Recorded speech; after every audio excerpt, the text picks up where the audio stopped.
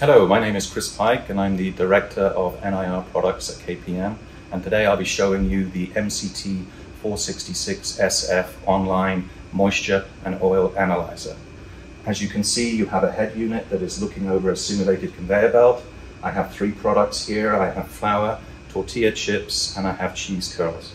Along with the head unit comes a washdown proof local display that shows you live readings and it is NEMA 4X, especially when the lid is closed at the front. Uh, as you can see, when it transitions between different products, the reading is an instantaneous change. So that is the MCT 466SF from KPM.